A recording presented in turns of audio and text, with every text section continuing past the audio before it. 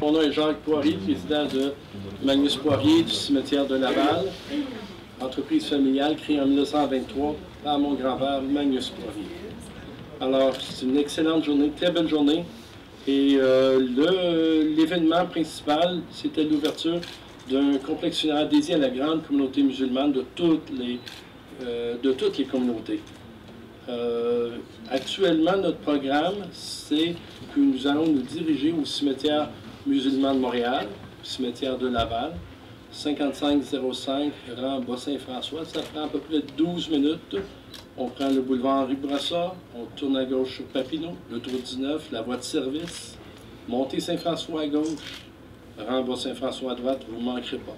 On se rend directement à la section au cimetière musulman de Montréal. Nous allons procéder à l'inauguration. Nous allons expliquer également, vous donner quelques spécifications physiques sur le cimetière et euh, tout l'arrondissement, la nature qui l'entoure, ainsi de suite. Et par la suite, vous êtes conviés à un goûter à la salle de réception du cimetière. Le cimetière est pourvu d'une salle de réception. C'est un grand chapiteau à l'entrée, vous ne pourrez pas le manquer. Vous êtes tous invités à cet endroit. Et bon, actuellement, nous allons pouvoir faire tous nos, discours et également nous, vous donner nos remerciements. Peut-être que certains d'entre vous, vous désirez remercier Magnus Poirier, M. Aumarché, mais moi, c'est moi qui désire vous remercier. En premier lieu, vous avez toute ma gratitude, parce que si moi je suis en avant puis je parais bien, c'est grâce à vous tous. Autrement, je suis juste humblement Jacques Poirier. Et euh, vous avez tous été avec moi depuis longtemps, longtemps, pour cette aventure qui aujourd'hui, maintenant, va pouvoir euh, desservir la grande communauté musulmane, le cimetière musulman de Montréal. Et c'est un magnifique endroit, évidemment, forcément, c'est un cimetière, mais c'est un magnifique endroit où les personnes sont, ont leur sépulture et on travaille avec respect et avec dévotion. Vous allez voir, tout, tout, tout, l'endroit est créé dans une, une attitude familiale de notre entreprise qui est de toujours faire les choses bien et avec notre passion que l'on fait depuis bientôt près de 100 ans. Alors, euh, merci de votre présence. Vous avez laissé vos traces ici, dans le pays qui vous a accueilli, mais surtout le pays que vous avez choisi pour élever vos enfants. Alors, merci à tout le monde, puis utilisez-le.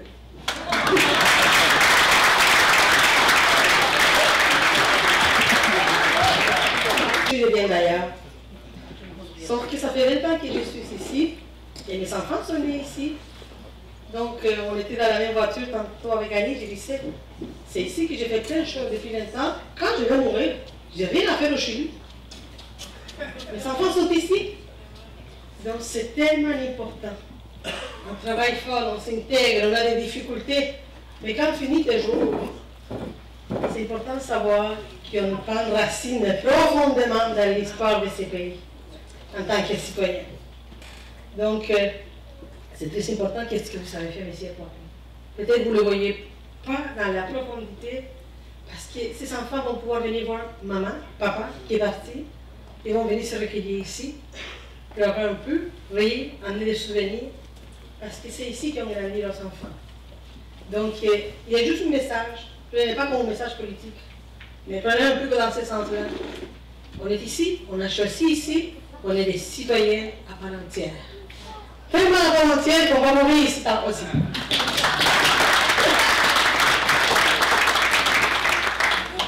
Bonjour tout le monde. Je ne vais pas reprendre euh, ce que Annie a très bien dit, ce que Paulina aussi a dit.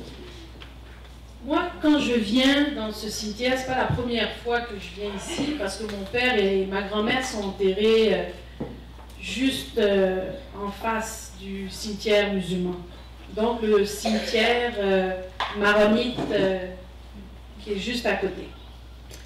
Et ce qui m'a toujours fasciné quand je rentre dans ce grand cimetière, c'est de voir le cimetière juif, le cimetière chrétien, un autre cimetière où des gens qui ne sont pas forcément religieux, qui ne croient pas en Dieu, de monde peuvent être enterrés. Puis le cimetière orthodoxe, le cimetière euh, marronné et maintenant le cimetière musulman. Ce que je trouve formidable, c'est que dans la vie, on peut naître dans différents pays On peut naître pauvre, on peut naître riche, classe moyenne, on peut être blanc, on peut être noir, on peut être chrétien, musulman, on peut être très différents les uns des autres, il y a une chose où on est tous pareils, c'est dans la mort. Et quand je vois notre pays se déchirer sur des questions religieuses, moi, ça me fait mal au cœur. Et je me dis, il faudrait que tout le monde vienne faire un tour dans ce cimetière pour voir qu'au bout du compte, là, dans la vie, là, quelles que soient nos religions, la seule chose qu'on prend avec nous, c'est le bien qu'on a fait sur cette terre. Alors j'espère de tout mon cœur qu'au Québec, on ne fera pas les mêmes erreurs que les Français, qu'on sera capable d'être ce qu'on a toujours été. Parce que moi, je suis arrivée au Québec en 1988 et j'ai vécu en France. Et je peux vous dire qu'au Québec, les Québécois, c'est du bon monde. C'est des gens avec un grand cœur. C'est des gens avec une grande ouverture. Et malheureusement, des politiciens utilisent la peur, la division, pour séparer le peuple, notre peuple, pour nous diviser, pour créer la peur dans nos cœurs, la peur de l'autre, la peur du musulman. C'est ça actuellement ce qu'on vit. Et ça, ça, ça me fait peur. Plus que tout. Parce que moi, je les vois, nos jeunes. Moi, je veux que nos jeunes nous disent, moi, je suis québécois, moi, je suis canadien. Avant de dire que moi, je suis musulman moi je suis chrétien. Parce que vous, vous le savez très bien. Quand vos jeunes vous disent on est d'abord musulmans, ça veut dire qu'ils ne se sentent plus canadiens ou québécois. Parce qu'ils se sentent rejetés. Ils sentent qu'ils n'ont pas leur place ici. Puis ça, c'est ça qu'on doit se battre, nous tous. Vous, vous devez vous battre contre ça. Puis nous aussi, qu'on ne soit pas, qu'on soit pas musulmans ou qu'on soit du, venus d'ailleurs, qu'on soit d'origine chinoise ou quelles que soient nos origines. C'est ça notre grand problème actuellement. C'est cette islamophobie qui est en train de nous bouffer tous les jours. Et vous, vous le savez parce que vos femmes, quand elles sortent avec leur foulard, elles vivent quotidiennement la discrimination, l'insulte, l'humiliation. C'est ça qu'on doit combattre. Puis ça, on le combat comment? Avec l'amour, avec la générosité, avec la main tendue. Parce que les autres, ils ont peur. Il faut leur dire qu'ils n'ont pas à avoir peur. Parce qu'on est tous des humains et on finit tous dans le même cimetière. C'est ça qu'on doit leur dire. Moi, je fais ma part, mais il faut que vous la fassiez votre part aussi. moi, j'invite toutes les femmes qui portent des foulards à aller parler avec ces femmes qui vous regardent comme si vous étiez des monstres Allez-y leur parler. Dites-leur, moi je suis comme toi. J'ai du sang dans mes veines. Quand tu m'insultes, je pleure. Quand tu, me craches dessus, je pleure aussi. Puis je rentre chez moi à la maison, puis j'ai mal, puis j'ai honte. Parlez-leur. Ils vont vous écouter, parce que c'est du bon monde. Ils ont juste peur. Puis les politiciens, certains politiciens ne font que ça, allumer le feu, parce qu'ils veulent gagner leurs élections avec ça. En France, ils le font tous les jours. Et maintenant, au Québec, il y a une nouvelle façon de faire la politique, celle-là. La politique sale, petite, la politique de la peur, de la division. L'intervenant qui m'a précédé avait relevé que dans ce, dans ce bel espace, il y avait des différentes c'est organisé de manière à ce que chaque euh, appartenance culturelle ou religieuse bénéficie de son propre espace. C'est bien aménagé, c'est propre, c'est accessible. Si vous permettez, moi j'ai relevé un autre détail, qui est un espace qui est réservé aux chiens, également. Donc, euh, il n'y avait pas d'espace pour les musulmans. cette image m'a interpellé. Comment est-ce possible ben, Aujourd'hui, euh, je me réjouis du, fait que cet oubli, entre guillemets, a été attrapé. Euh, ça ne s'est pas fait tout seul. Euh, des hommes et des femmes se sont battus pour cela. ils le font souvent dans la difficulté. Mais aujourd'hui, tous ces efforts ont été récompensés. Et si euh, je dois citer une personne en particulier, je ne peux pas ne pas penser à la famille Poirier, qui est représentée ici, euh, sans laquelle cette entreprise, ce projet, aurait sûrement été beaucoup plus difficile que ça. Mais aujourd'hui, encore une fois, la communauté musulmane, au même titre que toutes les autres communautés, peut se prévaloir de son, de son espace. Il s'agit de, la dernière demeure. Il y a une dimension spirituelle, symbolique, affective qui s'y rattache.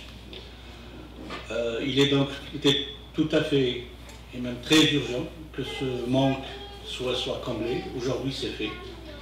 Euh, grâce à des efforts qui ont été déployés je vois sur les visages les motifs de satisfaction et de, joie, je m'y associe. Et mon dernier mot, c'est de dire un grand merci à tous ceux et toutes celles qui ont fait que ce jour soit enfin possible. Merci à vous.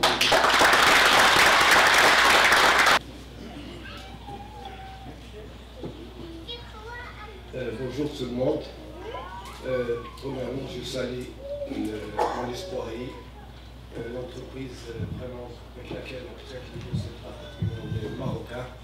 je salue notamment M. Omar Benchir et son collègue euh, Marc, avec lequel on travaille quotidiennement. Ils font des efforts vraiment déployables. je salue exactement, je salue également la présence des médias ici, Atlas Media et Maghreb Express.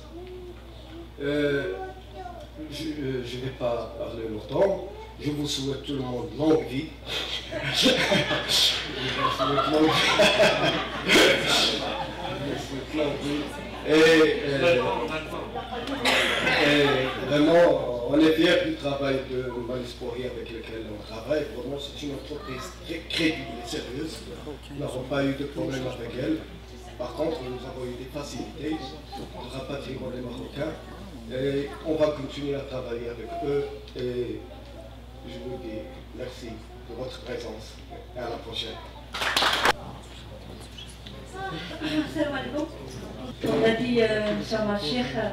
je suis euh, quelqu'un qui est toujours sur le terrain. On a travaillé étroitement avec M. Jacques Poirier, qui nous a beaucoup soutenus, qui nous a beaucoup aidés. Mon Dieu, c'était un homme extraordinaire. J'ai jamais vu ça de ma vie. Euh, Merci, Monsieur Jacques Merci à votre famille, à votre équipe. Euh,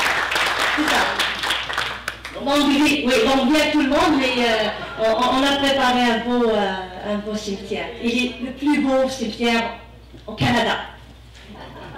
Et j'appelle la communauté musulmane, toute la communauté, à nous aider à, travailler pour, pour, pour, notre communauté, pour qu'ils se protègent qu'il se couvre, qu'il...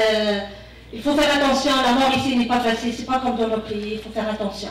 Alors, euh, beaucoup de grands projets qui arrivent, Inch'Allah, pour euh, mourir en dignité. Mais on vit quand même.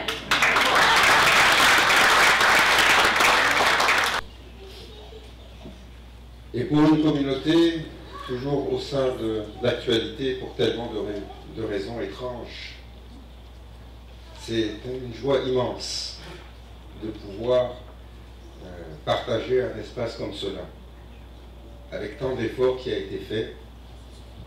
Comme on dit, mourir dans la dignité, on ne sait pas jusqu'à quel point c'est difficile un départ, jusqu'à ce que cela survienne. Et vous savez, Monsieur Poirier, votre famille, pour chaque tombe qu'il y aura pour une famille, c'est toute la famille, toute l'ascendance et la descendance qui vous sera reconnaissant.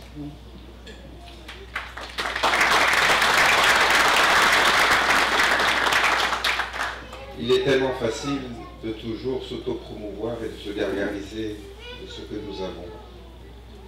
Mais il est important de reconnaître ce que les autres nous apportent et l'effort qu'ils ont fait. C'est un pays, c'est un beau pays. Je partage beaucoup avec Madame Mourani. Nous sommes nés dans le même coin de pays. Nous avons également transité par la France et aujourd'hui nous avons choisi le Québec pour beaucoup de raisons qu'on comprend. C'est un grand pays, c'est un beau pays, dans lequel de plus en plus de musulmans sont présents et surtout commencent à trouver leur place à travers des efforts comme cela. Il y a beaucoup d'anonymes, il y a eu beaucoup d'efforts, mais le plus gros reste à venir. Encore beaucoup d'efforts, c'est important pour cette communauté de participer, de se mobiliser et d'apporter son effort à chaque instant. Et aujourd'hui, c'est avec joie que nous partageons cette différence, car comme le rappelle le Saint-Coran, nous vous avons créé de nations et de tribus différentes afin que vous vous entreconnaissiez, car dans cette différence réside la plus belle de toutes les richesses. Merci encore à tous. Que Dieu nous accorde longue vie à tous. Nous, le retenons, même si ce n'est pas toujours bon pour certaines affaires. Mais de toute façon, nous, finirons tous euh, nécessairement euh, pour retourner à notre Seigneur. Merci encore. Euh, je suis marocain. Euh, je suis fier de cette réunion que je vois devant nous. Je remercie le, le consulat marocain, puis l'Algérien, puis tous les gens qui ont travaillé sur ce sujet. On est alhamdoulilah, de voir que notre communauté est en train d'intégrer le Québec d'une façon plus ouverte et plus agréable. Il y a beaucoup de travail à faire, c'est vrai. Mais l'ouverture d'esprit et l'ouverture du cœur, c'est quelque chose de primordial pour qu'on puisse vivre ensemble. Parce que le, le Canada, c'est un, un, vrai euh, exemple euh, au monde pour euh, toutes les communautés vivre ensemble. Parce que quand on est dans le, dans le cimetière, il n'y a pas de chrétiens, ni juifs, ni arabes, ni français, ni euh, noir ou blanc, c'est tout le monde pareil, ils vont rentrer dans... Nous sommes à terre, nous revenons à terre. C'est ce que Dieu, alhamdoulilah, qui nous a dit. Et si on ouvre notre cœur pour être ensemble dans cette terre, on va vivre, vivre agréablement. Même si c'est un peu difficile de le voir dans le monde, mais on a l'espoir. Et merci pour tout le monde et pour ce agréable travail. Euh, nous sommes là pour vivre d'une harmonie entre toutes les communautés. Et j'espère que tous les musulmans et tous les chrétiens et les juifs vivent ensemble sans être en guerre. Merci beaucoup.